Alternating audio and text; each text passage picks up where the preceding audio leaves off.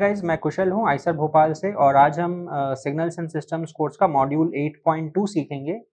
uh, जिसमें हम Laplace transform के कुछ और प्रॉपर्टीज़ के बारे में जानेंगे namely derivative and integral property तो आज है module 8.2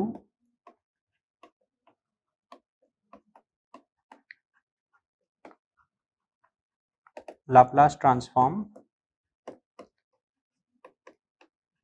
derivative and integral property तो ये हम करीब करीब उसी तरीके से करेंगे जैसे कि हमने फूरियर ट्रांसफॉर्म के केस में किया था, लेकिन हम देखेंगे स्पेशली इंटीग्रल प्रॉपर्टी के केस में कि फूरियर ट्रांसफॉर्म केस है यहाँ पे थोड़े से डिफरेंसेस हैं। तो पहले हम डेरिवेटिव प्रॉपर्टी के बारे में देखते हैं जो कि बिल्कुल फूरियर ट्रांसफॉर्म के जैसे ही काम करता है। तो सपोज़ हमारे पास कोई सिग्नल है एक्स ऑफ़ टी जिसका लाप्लास ट्रांसफॉर्म है x of s with R O C R तो अब क्वेश्चन है कि अगर हम d x by d t अगर लेंगे तो उसका लाप्लास ट्रांसफॉर्म हम कैसे निकालेंगे? तो मैं आपको याद दिलाता हूँ कि हमने इसका फुरियर ट्रांसफॉर्म किस तरीके से निकाला था। तो हमने क्या किया था कि इसे हम अगर सपोज़ y ऑफ़ टी अगर मान लेते हैं, वो होता है x of t is equal to one by two pi integral minus infinity to plus infinity capital x of j omega e power j omega t d omega अब इस function को हम अगर दोनों साइड अगर टाइम के respect में अगर हम डिफ्रेंशिएट करते हैं तो हमारे पास आता है d x by d t is equal to one by two pi derivative of this whole integral लेकिन अब यहाँ पे क्योंकि ये जो लिमिट्स हैं, ये भी टाइम से इंडिपेंडेंट हैं और ये जो इंटीग्रेशन वेरिएबल है, ये भी टाइम से इंडिपेंडेंट है तो उस वजह से हम इस डी एक्स हम इस डी बाई डी टी को इस इंटीग्रल के अंदर ले जा सकते हैं। और इंटीग्रल को अंदर ले जाने के बाद में अगेन ये जो capital x of j omega है, यहाँ पे भी हमारा डेरिवेटिव का कोई असर नहीं होगा क्योंकि यहाँ पे भी टाइम वेरिएबल है ही नहीं। तो ये बन जाएगा इंटीग्रल ऑफ़ माइनस इन्फिनिटी से infinity, capital x of j omega into d by d t of e power j omega t times d omega. और इसको हम अगर डी बाई डी टी करेंगे, इसको अगर अगर हम डिफ्रेंशिएट करेंगे तो ये बन जाएगा one by two pi integration minus infinity to plus infinity, capital X of j omega into j omega into e power j omega t d omega. तो यहाँ पे हम आप देख सकते हैं कि ये जो कॉम्पोजिट फ़ंक्शन है, इसका हम एक तरीके से इनवर्स फोरियर ट्रांसफॉर्म ले रहे हैं। यानी कि हम ये कह सकते हैं कि जो d x by d t है, उसका जो फोरियर ट्रांसफॉर्म होगा, वो ये पूरा टर्म होगा। J omega multiplied by capital x of j omega अब इसी तरीके से हम d x by d t का लाप्लास ट्रांसफॉर्म भी डिराइव कर सकते हैं। बस डिफरेंस इतना होगा कि यहाँ पे जो ओमेगा है, उसकी जगह पे हम इंटीग्रेट करेंगे विथ रेस्पेक्ट टू एस तो यानी कि हम अगर इस एक्सप्रेशन में हम अगर जे ओमेगा की जगह अगर एस लिखें, अगर हम जे ओमेगा को अगर हम एस लें तो हमारे पास है d omega is equal to d s by j तो यानी कि हम लिख सकते हैं that x of t is equal to one by two pi j integral minus infinity to plus infinity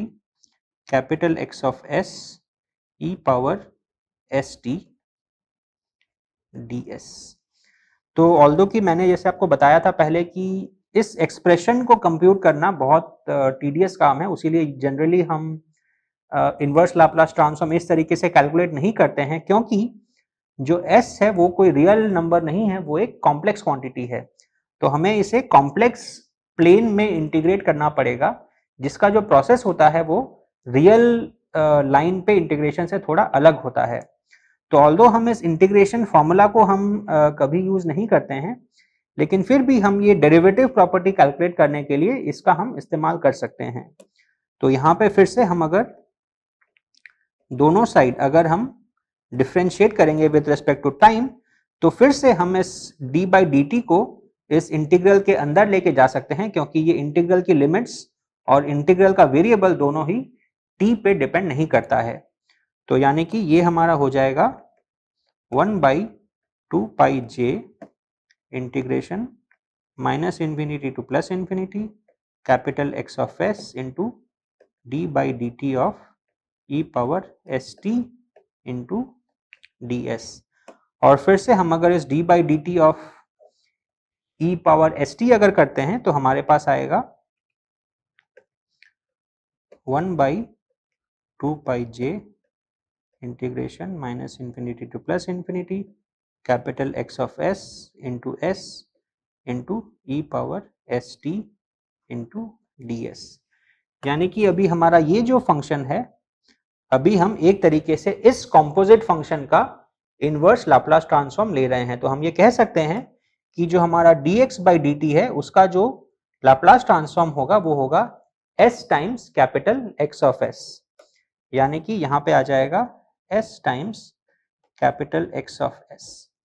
अब सवाल है कि उसका ROC क्या होगा? तो अगेन जो इसका ROC होगा, वो होगा प्रीवियस आरओसी लेकिन ये उससे थोड़ा सा बड़ा भी हो सकता है। सो आरओसी कंटेनिंग आर वो किस वजह से? अब देखिए आरओसी अगेन क्या होता है? आरओसी होता है एस डोमेन का वो रीजन जहाँ पे लाप्लास ट्रांसफॉर्म का जो वैल्यू है वो एक तरीके से फाइनाइट है। तो यहाँ पे अब हमारा जो कैपिटल एक्स ऑफ़ एस है, वो जहाँ जहाँ पे फाइनाइट है, उसमें हम अगर एस मल्टीप्लाई कर देंगे तो वो इनफाइनाइट नहीं हो जाएगा, क्योंकि अगर हम फाइनाइट एस डोमेन की बात कर रहे हैं तो वहाँ पे एस भी फाइनाइट है। लेकिन क्या हो सकता है कि आपका जो कैपिटल एक्स ऑफ़ एस है, उसमें जो पोल्स एंड जीरोस जो होते हैं तो सपोज़ आपके कैपिटल एक्स ऑफ़ एस में अगर एक पोल है ओरिजिन पे तो एस से मल्टीप्लाई करने का क्या मतलब है कि हम एक ओरिजिन पे एक ज़ीरो ऐड कर रहे हैं। तो अगर आपका पोल ज़ीरो अगर कैंसिलेशन हो जाता है तो आपका जो आरओसी है वो आर से बड़ा भी हो सकता है। इसका एक सिंपल एग्ज़ाम्पल हम देखेंगे थोड़ी देर के बाद में। उसके पहले हम एक डेरिवेटिव की एक और प्रॉपर्टी देखते हैं कि अगर हम टाइम डोमेन में डेरिवेटिव लेने की जगह अगर हम फ्रीक्वेंसी डोमेन या हम अगर एस डोमेन में अगर डेरिवेटिव लेते हैं तो हमारा करस्पॉन्डिंग टाइम डोमेन सिग्नल क्या होता है? तो यानी कि अभी हम हम अगेन ले रहे हैं कि हमारा जो एक्स ऑफ़ टी जो हमारा सिग्नल था, उसके करस्पॉन्डिंग लाप्लास ट्रांसफॉर्म है कैपिटल एक्स ऑफ़ एस और करस्पॉन्डिंग आर है आर लेकिन हम अगर d x by d s अगर लेते हैं तो उसके करस्पॉन्डिंग जो सिग्नल है, वो क्या होगा? तो अगेन इसे हम बड़ी आसानी से निकाल सकते हैं by using the Laplace transform formula तो हम अगर लिखें capital x of s is equal to integration minus infinity to infinity x of t e power minus s t d t और हम अगर दोनों साइड को अगर एस के रेस्पेक्ट में अगर डिफ्रेंशिएट करते हैं तो अगेन पहले की तरह हम अब डी बाई डी एस को अंदर ले जा सकते हैं, क्योंकि हमारा जो इंटीग्रेशन का जो लिमिट्स है और जो इंटीग्रेशन का वेरिएबल है, दोनों ही एस पे डिपेंड नहीं करते हैं। तो यहाँ पे आएगा d by d s of e power minus s t into integration over d t और इसे हम अगर डिफ्रेंशिएट करेंगे तो हमारे पास आएगा minus infinity to infinity x of t into minus t e power minus s t d t ये माइनस टी कहाँ से आया? हमारा जो ई e है,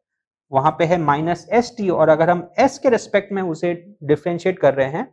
तो हमारा जो माइनस टी है, वो हमारा बाहर आ जाएगा। यानी कि अभी हम कह सकते हैं कि अभी हम इस कॉम्पोजिट सिग्नल का हम लाप्लास ट्रांसफॉर्म निकाल रहे हैं। यानी कि यहाँ पे हम लिख सकते हैं minus t e power minus t x of t यानी कि हम अगर लाप्लास डोमेन में अगर हम डिफ्रेंशिएट करते हैं तो उसका करस्पॉन्डिंग सिग्नल होगा minus t times x of t अभी हम देखते हैं कि हमारा जो, ये जो प्रीवियस एग्ज़ाम्पल था, इसमें हमने जो बताया कि जो हम अगर टाइम डोमेन में अगर डिफ्रेंशिएट कर रहे हैं तो उसका करस्पॉन्डिंग लाप्लास डोमेन में एक्सप्रेशन होगा एस टाइम्स कैपिटल एक्स लेकिन ROC जो होगा, वो आर तो होगा ही, लेकिन आर से बड़ा भी हो सकता है। तो इसका एक एग्ज़ाम्पल देखते हैं हम। तो हम इसके लिए हम स्टैंडर्ड हमारा जो यूनिट स्टेप जो फ़ंक्शन है, उसे लेते हैं। तो अब सवाल है कि जो यूनिट स्टेप फ़ंक्शन है यूनिट स्टेप फ़ंक्शन जैसा कि आप जानते हैं, वो होता है नेगेटिव टाइम के लिए वो ज़ीरो होता है और पॉजिटिव टाइम के लिए वो कांस्टेंट होता है एट वन तो अब सवाल है कि इसका लाप्लास ट्रांसफॉर्म क्या होगा? अब जैसा कि हम जानते हैं कि अगर हम e power minus a t u of t अगर हम लेते हैं तो इसका लाप्लास ट्रांसफॉर्म होता है one by s plus a और आर होता है sigma greater than minus a तो यहाँ पे हम अगर u ऑफ़ टी का अगर हम लाप्लास ट्रांसफॉर्म चाहते हैं तो यहाँ पे सिंपली हम a equal to zero put कर सकते हैं। तो अगर हम a इक्वल टू ज़ीरो अगर पुट करेंगे तो हमारे पास आएगा u ऑफ़ t का Laplace transform is one by s and sigma greater than zero तो यानी कि u ऑफ़ t के करस्पॉन्डिंग हमारे पास आया one by s sigma greater than zero यहाँ पे एक इंपॉर्टेंट बात जो आपको ध्यान रखने की है कि अगर आपको याद होगा कि हमने यू ऑफ़ टी का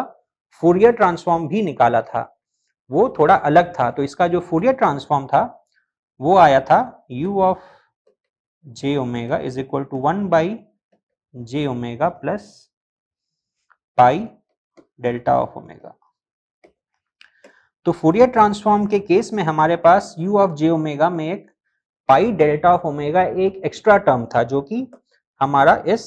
लाप्लास ट्रांसफॉर्म में नहीं है। यहाँ पे हमने क्या किया है? जो वन बाई जी ओमेगा है, वहाँ पे हम अगर जी ओमेगा को अगर एस से रिप्लेस कर दें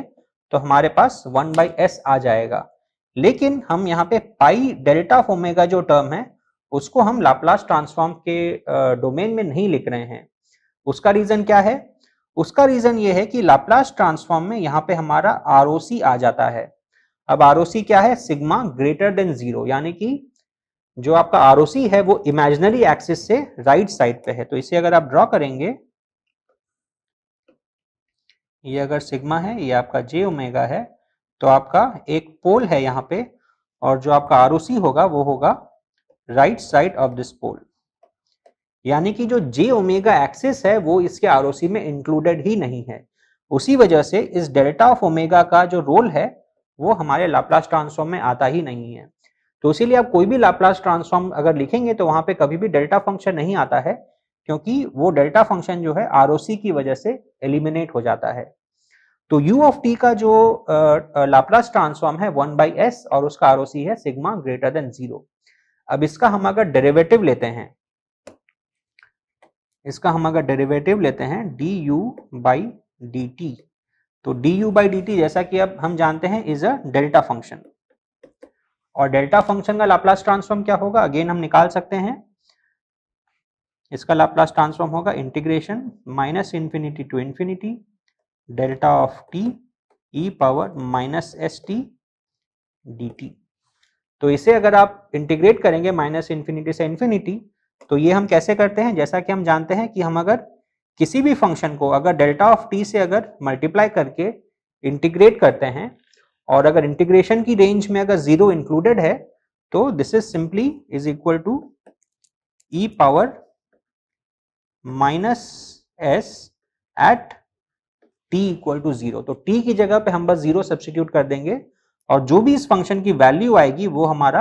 इंटीग्रल का वैल्यू होगा। तो इस, इसकी वैल्यू क्या होती है? सिंपली वन यानी कि डेल्टा ऑफ़ टी का जो लाप्लास ट्रांसफॉर्म होता है, वो होता है वन, और इसका जो आरओसी है, वो क्या होगा? Entire s plane. क्योंकि ये जो एक्सप्रेशन है, ये किसी भी एस के लिए वैलिड है। तो यहाँ पे हमने क्या किया? हमने जब u ऑफ़ टी को जब डिफ्रेंशिएट किया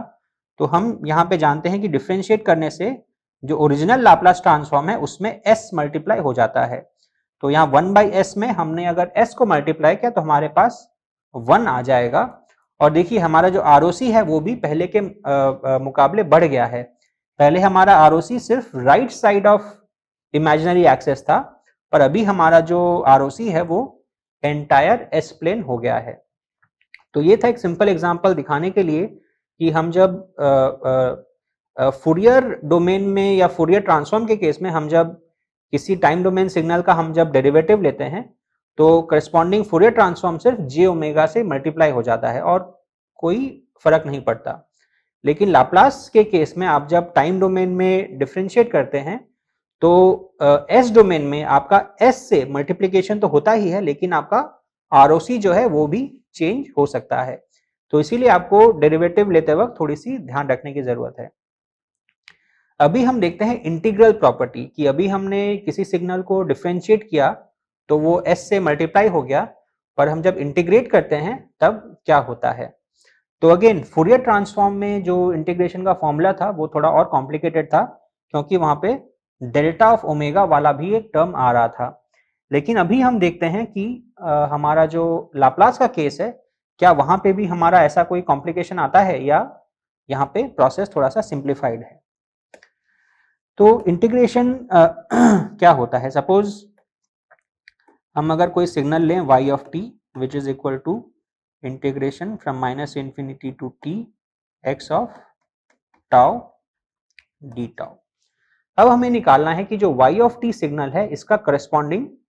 लाप्लास ट्रांसफॉर्म क्या होगा? तो इसके लिए हम इसे थोड़ा सा अलग वे में लिखते हैं। हम इसे लिख सकते हैं माइनस इंफिनिटी से t x of tau multiplied by u of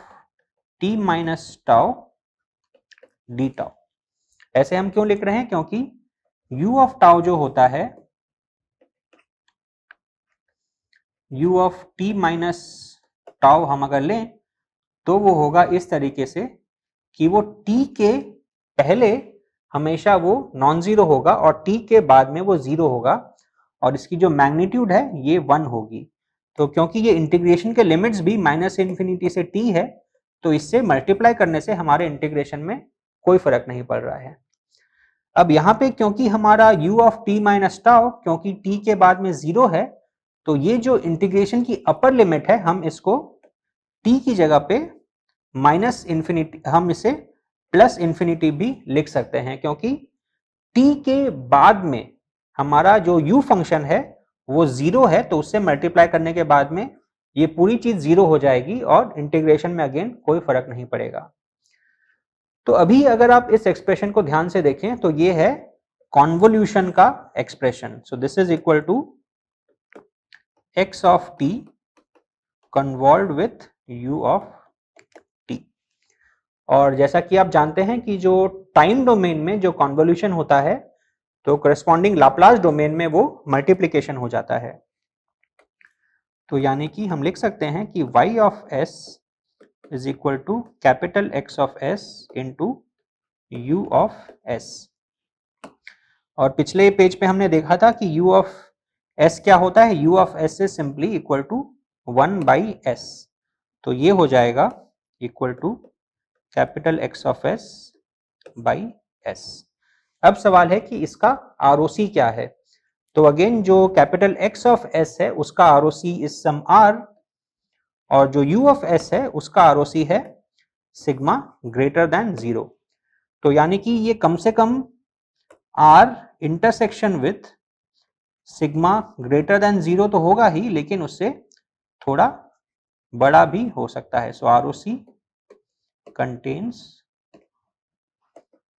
this quantity तो अब एग्जैक्टली exactly आपको अगर कोई एक्सप्रेशन दिया जाए तो उसका आप इस तरीके से आप उसका लाप्लास ट्रांसफॉर्म निकाल सकते हैं। बस ये ध्यान रखिएगा कि उसका जो आर निकालेंगे, वो कम से कम इतना तो होगा ही। अगेन इससे बड़ा कब होगा? जब अगेन आपका कोई पोल ज़ीरो कैंसिलेशन होगा, तब आपका आर इससे आपका बड़ा भी हो सकता है, क्योंकि यहाँ पे ये टर्म क्यों आया? क्योंकि आपका यहाँ पे वन बाई एस है, जो कि ज़ीरो पे ब्लो अप कर जा रहा है। इसीलिए आप ज़ीरो को अभी इंक्लूड नहीं कर सकते हैं। लेकिन अगर कैपिटल एक्स ऑफ़ एस में अगर एक एस का कोई टर्म है तो वो एस और ये एस कैंसिल हो जाएगा और फिर आप इस रिस्ट्रिक्शन से आप को कोई दिक्कत नहीं आप नेगेटिव सिग्मा में भी जा सकेंगे। तो ये था लाप्लास ट्रांसफॉर्म के डेरिवेटिव और इंटीग्रल प्रॉपर्टीज़ के बारे में। अगले मॉड्यूल में हम लाप्लास ट्रांसफॉर्म के कुछ और प्रॉपर्टीज़ के बारे में जानेंगे। Thank you